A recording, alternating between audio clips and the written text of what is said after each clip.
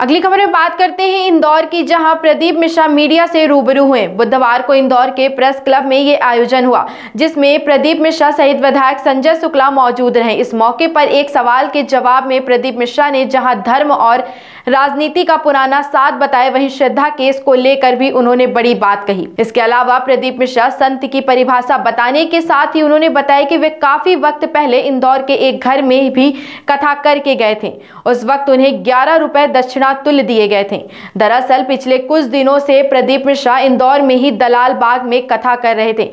बुधवार को कथा का समापन हुआ। इसके बाद वे इंदौर प्रेस क्लब में मीडिया से मुखातिब हुए, जहाँ उन्होंने कहा कि सारी समस्या का हल एक लोटा जल। साथ ही उन्होंने हर परिस्थिति में खुश रहने की बात भी कही।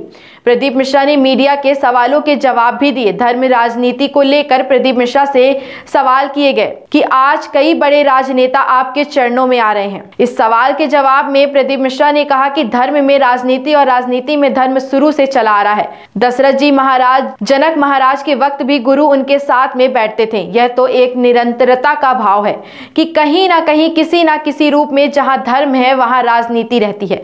जहाँ राजनीति है, वहाँ धर्म थोड़ा रहता है। यह तो क्रम सदा से चला आ रहा है। ऐसा नहीं कि राजनेता किसी कथा में नहीं पहुँचते। यह हमारी कथा में ज़्यादा आ रहे हैं। सभी कथाओं में जाते हैं और पूर्व में जो बड़े बड़े संत और साधु गुरुजन रहे हैं, उनके चरणों में भी वे जाकर बैठे हैं।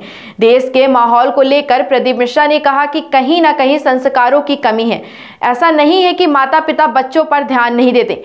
अगर माता पिता बच्चों का ध्यान नहीं देते तो श्रद्धा के टुकड़े कितने हुए ये मालूम नहीं पड़ते। एक पिता के मन में भाव जागृत हुआ कि आखिर मेरी बेटी है कहाँ? बस जिस पिता ने थोड़ा समय निकालने के बाद याद आया कि मेरी बेटी कहाँ है, वही पिता अगर दो या तीन दिन के अंदर भी ज्ञात कर लेते कि मेरी बेटी कहाँ है तो उनको अपनी श्रद्धा वापस जीवित प्राप्त होती। कहीं ना कहीं हमारे संस्कार या हमारा जो पोषण तत्व है, वह हमें वहाँ तक नहीं पहुँचने देता। आप इंदौर में खोज लीजिए जितने भी माता पिता हैं। बच्चों को संस्कार देने में पीछे नहीं हटते। सभी माता पिता देते हैं लेकिन वे उस उम्र में सिखाना चाहते हैं जिस उम्र में बच्चा सीखना ही नहीं चाहता। उन्होंने उदाहरण देते हुए कहा कि जब बाँस गीला होता है तब उसे नमाओगे तो नम जाएगा और सूखा बाँस नमाओगे तो टूट जाएगा। मेरा कहना यह है कि संस्कारों के बल पर ही हम क्राइम को रोक सकते हैं। राजनीति रवि रत्नाकर।